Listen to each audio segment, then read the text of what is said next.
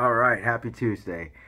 Uh, I wanted to talk about why I love and why I hate classical guitar. I shouldn't say hate. Hate is too strong of a word. Why I'm scared, you know what, list of classical guitar.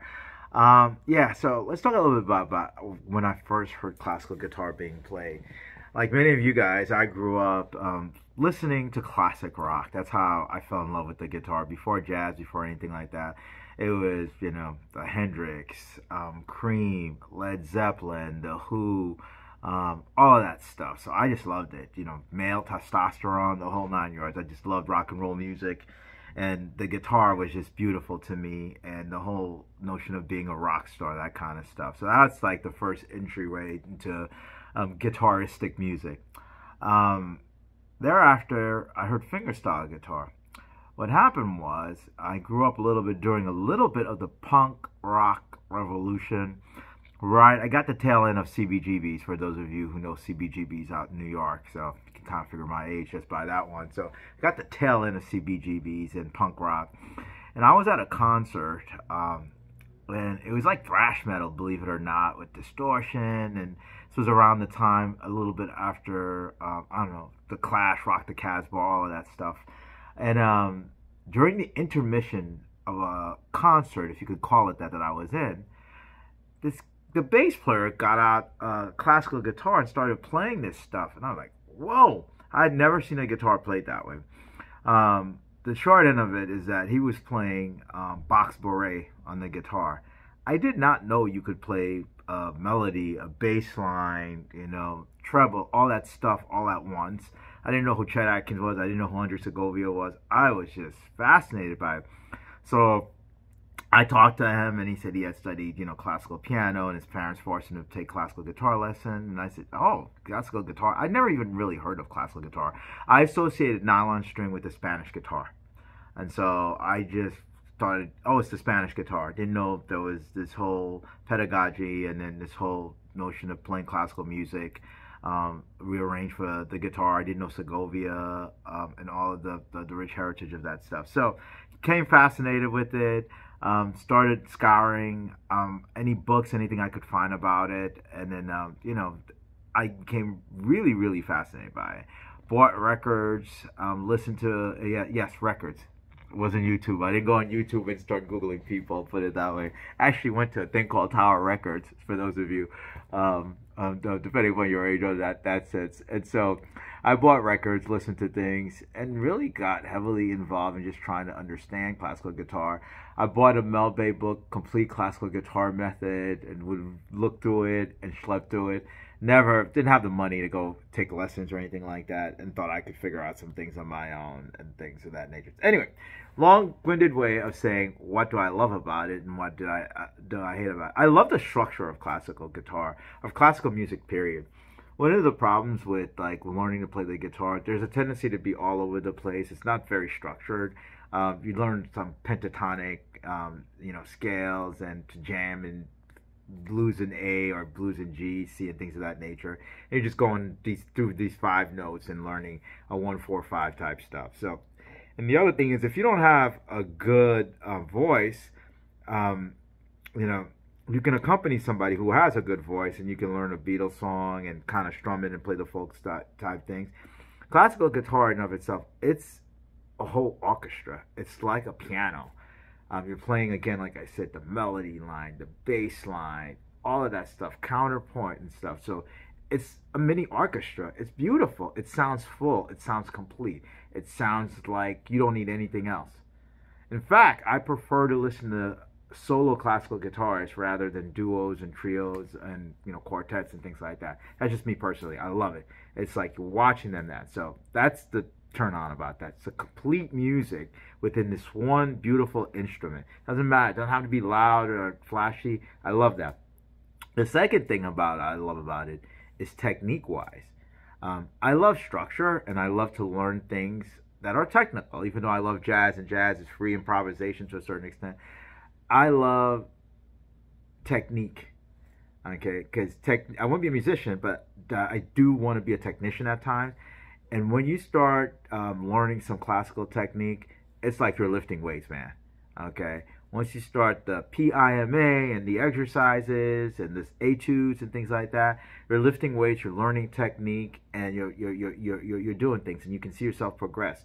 So it's like an athlete. So when you start working out, uh, for those of us who are athletes, you know, you do your push-ups, you do your sit-ups, you lift weights, you run, you go get in the pool, the backhands, whatever that the sport is, uh, and you find yourself getting better through constant practice, practice, practice. That's why I end up all these videos with practice, practice, practice. So I love that. So again, I love the completeness of the instrument. I love the technical aspect of the instrument. Um, the third thing I like about it is it connects you with history. That's one of the things I love about jazz too, right? Don't get me wrong. It's not like I don't like contemporary music and things like that. Um, I just I love history. Call me a nerd or whatever you want to call it. I love knowing that I'm playing a piece of music that somebody played hundreds of years ago, or I'm playing a piece of music that was written for a cello, that was written for a violin, the piano. Um, I love that. There's something to that that that connects me to it in and of itself.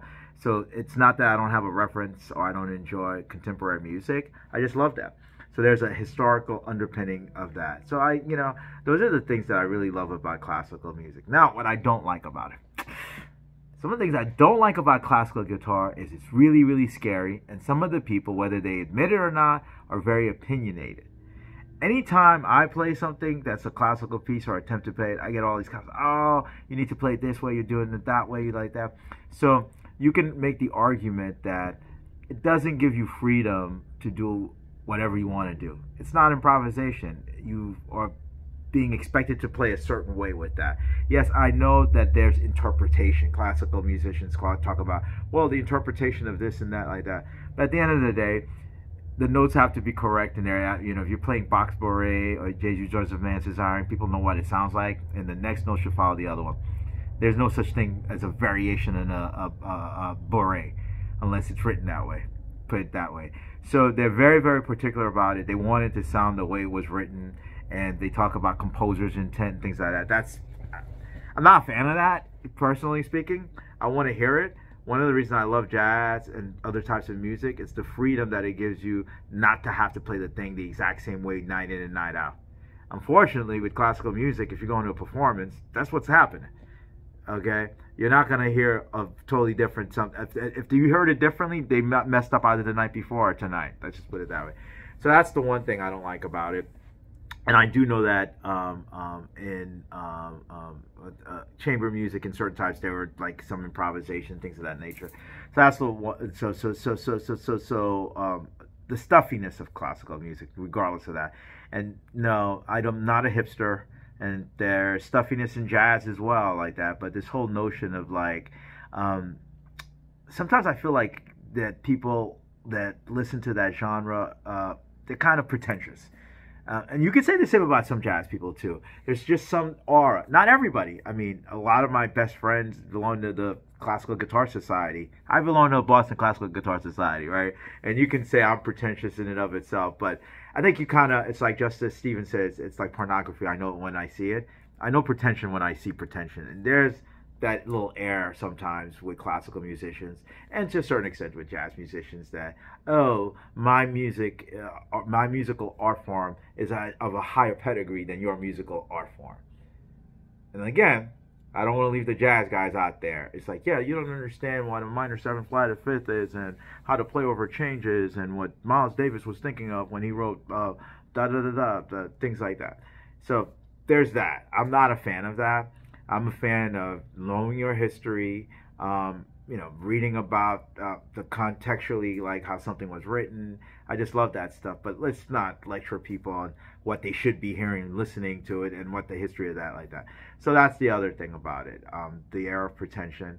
Um, the, the, the, the, the third thing about it is that um, wouldn't say I don't. It, it, it's sort of a little bit of all of the above. Um, that a lot of classical musicians really snub other types of music. Okay, I guess you could say that about a lot of jazz musicians. I love musicians who really have big ears and are listening to everything. I started this thing telling you that I got the classical music through punk. I didn't grow up in a family where we listened to Beethoven and Mozart and Stravinsky and Schumann and all that. I didn't even know those names, put it that way. And so you have to be open, and because music to me is for everybody. And so for me, uh, for, to have a strong musical underpinnings, it should be listening to jazz, some funk, some classical, all of the above. A lot of times, um, the stuffy, the stuffier and the stiffer they are in terms of, of, of, their musical taste, the less likely they are to embrace other styles of music. And I think sometimes classical music falls under that that heading, as does jazz. So anyway, very very long long video. Apologize for the length of it. I do not edit, so you can either watch all of it if you got this far or not. Practice, practice, practice. Bye now.